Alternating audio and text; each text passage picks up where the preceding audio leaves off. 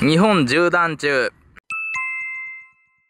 えっ、と、今、日本縦断中ということで、えっ、と、こんな感じで公園で落ち合いました。ということで、本日はですね、えっ、と、日本縦断グッズっていうのをちょっと紹介してもらいたいと思います。はい、ほなね、まずこれが、えっ、と、チャリンコになります。これは何用チャリンコっていうものになるの？ツーリングしたりとか価格が10万円ぐらい必需品ということではもちろんカッパもあるみたいですで前前がごちゃごちゃ入れやね。前はごちゃごちゃ入れい。ろんなものでございます。あちゃんとミラーもねミラーもついてるんだね。はい。重要やのこれ。そうです。ね後ろ見る時の。夜とかも結構の。ライト見えたりすると危ないで。来るの分かったりして。えー、なるほどな。ちなみになんですけどはい。えっとこれなん何方式っていうの？これあのビンディングペダル。あこれビンディングペダルか。ビンディングペダルでということでもちろんですね。靴もビンディングタイプのものになっております。でこれは宿泊用？宿泊とか。チャリンコこいでない時用に。雨降った時とか。あこれを履くんだ、はい。ほんで宿泊はここれがテント。これこれテントです。これって簡単に出せ出せる？あ大変これ。あー一応すぐ出せるっちゃ出せモンベルのステラリッチっていう。ステラリッチステラリッチって一人用のやつや。これ2人用でなんか荷物とかあるんで。あーそっか。こんなコンパクトに収まるんだね。ほんでやっぱテントっていうことはこの側？はい。これが必要なんだ。僕これまだ持ってないからね。えー、とこれから買うことにします。でこれ左右にあんのは？あこれも自分でつけたんだ。あもしかすると。このこのフレームは？これは売ってるやつですね。あ。あこんな風に取り付けれるようになってんだね。はい。そっちが衣服ああこんな感じで。あとなんか蚊取り線香蚊取り線香？あ大切だね蚊取り線香今の時期は。あと風呂セットとか。あお風呂セット？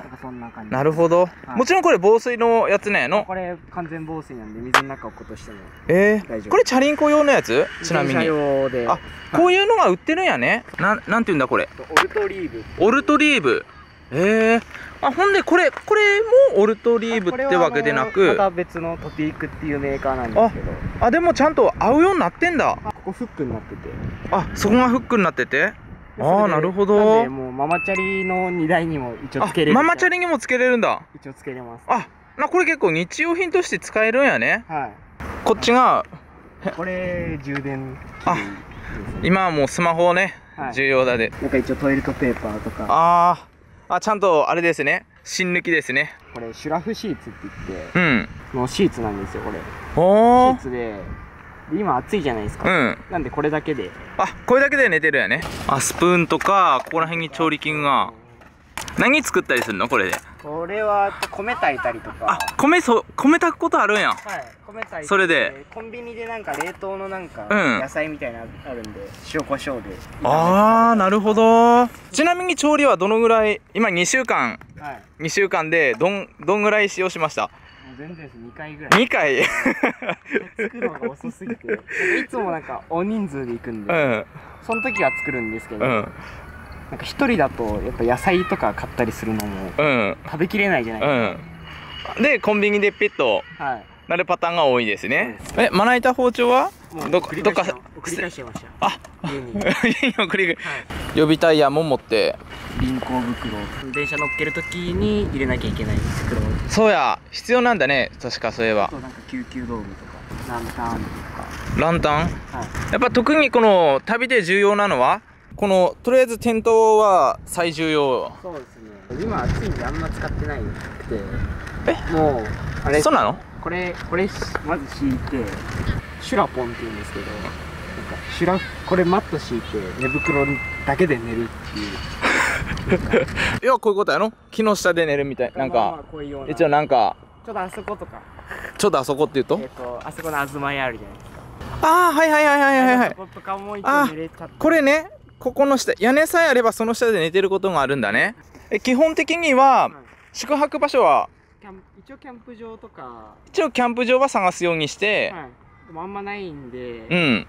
まあね最近はネットカフェが多いですね。最近はネットカフェ。はい、次に多くなるのがまあ、道の駅。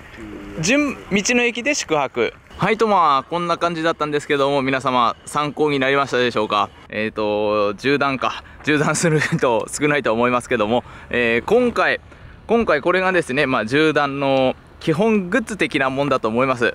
みんながみんなこういう装備ではないと思うんですけども、まあ、一つの参考として、えー、と、やってみてください。以上、日本縦断グッズの紹介でした。はい、とまあ今回いかがだったでしょうか？